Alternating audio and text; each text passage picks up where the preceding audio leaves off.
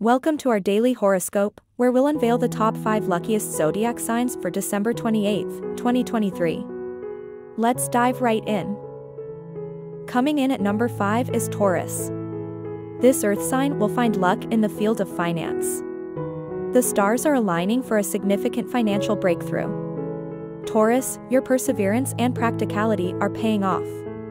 Your lucky number is 6, and your lucky color is green, symbolizing prosperity and growth. At number 4, we have Virgo.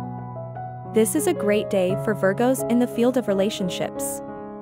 Your analytical approach to life often makes you cautious in love, but today, the cosmos encourages you to take a leap of faith. Your lucky number is 5, and your lucky color is yellow, radiating warmth and happiness. The third spot goes to Capricorn. Today, you will be lucky in your career. Your ambition and hard work are about to yield impressive results. Your decisions will be appreciated and rewarded. Your lucky number is 8, and your lucky color is brown, representing stability and reliability. In second place is the passionate Scorpio. Scorpios, you will find luck in personal growth today.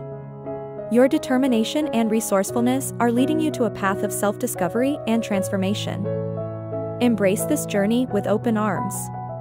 Your lucky number is 9, and your lucky color is red, symbolizing power and courage. And the luckiest zodiac sign for December 28, 2023, is Aquarius. Aquarius, you'll be the luckiest in the field of health. Your innovative nature and humanitarian spirit will see you making changes that will significantly benefit your well-being. Your lucky number is 4, and your lucky color is blue, signifying tranquility and health.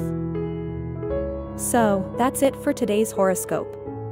Every day is a fresh start, a new opportunity to make the most of what the universe has in store for us. Remember, luck favors the prepared. So, keep an open mind, stay positive, and embrace the opportunities that come your way. Thank you for joining us, and we'll see you tomorrow with more insights from the cosmos. Until then, may the stars guide your path.